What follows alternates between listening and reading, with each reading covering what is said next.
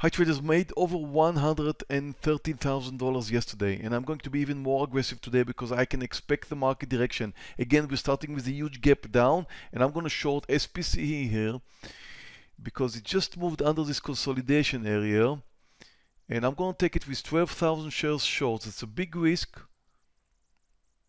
$1 stop loss, short now. That means I'm risking approximately $12,000. If it moves over 2050, I'll be out semi-whole number and it's supposed to protect me if it moves higher. Well, I'm afraid that uh, my first trade is going the wrong way. I'm going to stop it over 2050. Watch the sellers here. 2050, big number of sellers. That may save me. But if it moves a cent over 2050, and it just did, I'm out. Well, I'm starting my day with a $14,000 loser. I knew I was taking the risk, and I'm ready for it. Tesla's looking good. And again, I'm not discouraged by taking just one bad trade. I would like to take Tesla for short if it moves under 640. So take a good look here at Tesla. Stock is down 5%. The market keeps coming down and I'm about to short it with 8,000 shares. That's a big risk under 6 and Tesla just uh, made this move under 640, which looks great. Now, Tesla is very interesting because the market moved up a bit in the direction of closing the gap. Tesla did not move with the market, but it's coming down now. And look at Beyond. Beyond did move with the market up. I expect the market to come down. Therefore, I'm going to short Beyond right here. And again, I'm taking large size, 12,000 shares. About to take my short here. Okay, I'm short. 12,000 shares in Beyond. I'm guessing the market should come down from here, therefore beyond should continue coming down and look at the numbers $12,000, $13,000 and we're going 15,000, 16, 17, 19, go, go beyond $20,000, $23,000. Let's continue. I have a long, long target here. Usually I would have had my partial somewhere around here. I'm having a great trade right now, like 40 cents or so. I've, I've no intention of taking my partial over here. I'm looking for a much, much bigger move. Look at the numbers here, $40,000 almost. SPCE, second trade in SPCE, about to initiate right now. 12,000 shares, about to short. It's finally breaking down. I'm short. It's my second trade in SPCE. First one failed. Let's hope this one's going to work out. Okay, so Beyond came down, did not break down under the lows, consolidated for a while, even moved up a bit, but again, I'm waiting for it to come down. And at the same time watching Big, which is kind of same idea as Beyond. Stock moved higher, first pullback. I don't expect it to succeed because Big is down 25% a stock that is down 25% is not supposed to continue. It's just about to break down in my opinion. I'm about to short here. It's going to be 12,000 shares. I'm short. Now again, the quantity I'm trading today is four times my usual quantity and that is due because of the market situation. I expect the market to come down. SPCE failed to move lower, pulled back up, now it's coming down again and I'm about to add another 6,000 shares. I'm short 12,000, about to go to 18, going to 18 right now.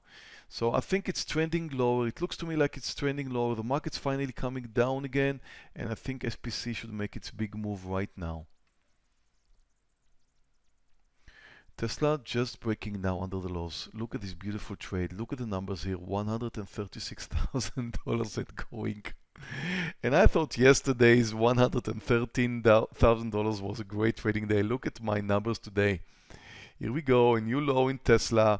That's the big move. I, you know, usually my targets are much smaller, but due to the circumstances right now, the market's coming down, I should take bigger profits.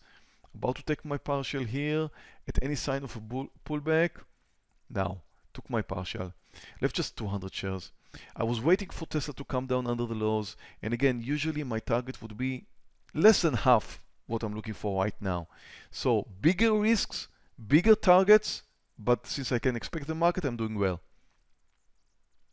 Beyond came down under the lows. Look at this consolidation area we talked about here about this one earlier, and again, no partial in beyond. I'm still short 12,000 shares, triple as much as they usually take, and I'm about to take my partial now. At the first time of pullback, I just took my partial. Same game as Tesla, bigger risks, bigger, bigger targets. So big is spiking all over and I'm getting tired of this one. I gotta take my partial. It's not like what I expected, but I'm going to cover. Covering now, left just 400 shares. That's a small winner compared to the potential, but really it was just going sideways. There's no reason to, to remain in this trade anymore. SPC is about to hit me once more. If it moves over 21, look at the whole numbers here, whole number here, lots of sellers. If it moves up, oh, it just did, I'm out. My second loser in SPCE, not much I could do about this one. I am interested uh, to know what my traders are doing today, so let's ask them. I'm gonna add my very green now, because I am very green. Oh, this is so, so nice to make money on an environment like we have today. This is just so good. We're at 86% right now, 87%. All of my trades are posted right here in the trading room and you are very welcome to join us. Just click here for a free 14-day trial. Now let's take a look at the market and see what happened today. Traders, uh, watch the S&P. It's down 3.5% right now again started approximately the same place.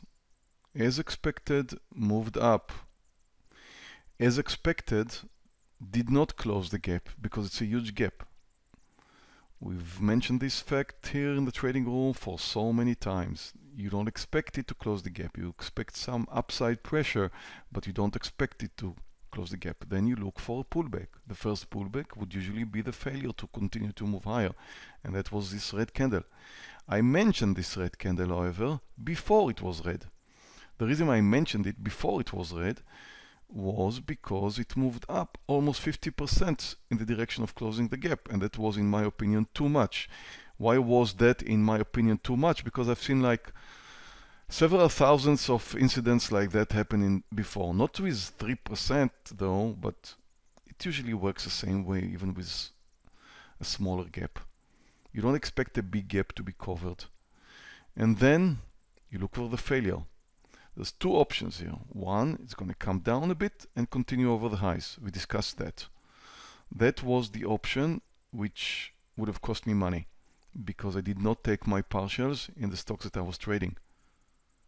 That was the option that I was afraid of, but I also mentioned that it's not a very like likely option because of what happens in the market in the recent days. It was exactly the same thing yesterday. So those of you who traded with me yesterday, you all know we did the same thing.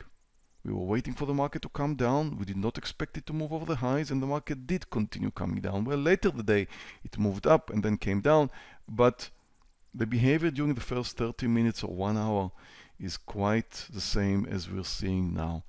This is to be expected. Then the market came down. That was the point to take your partials. I have to say I started taking my partial here just below above the low. I thought we're done around here, but we continue to come down a bit more. There's an extended wide range candle here with high volume, and that's a good sign for pullback. And here comes the pullback. What's coming next? Absolutely no idea. But you know, when you take a look at the way the market behaved today, you knew you should wait for the market to fail to move higher. You should get into shorts. Take your shorts as the market was coming down. Do not take your partials, which I usually do when the market's pulling back down because I don't know if the market's going to continue over the highs or not.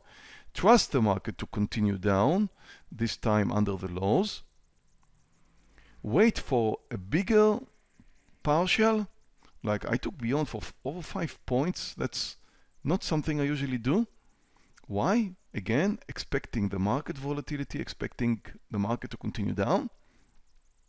And once you're right, hopefully you're right, then you cash in big time. And you want to see how big? Here it is. That's how big. $3,000 in beyond in big. $59,000 in beyond. $120,000 in Tesla. Did not break my record in Tesla. uh, big two losers in space.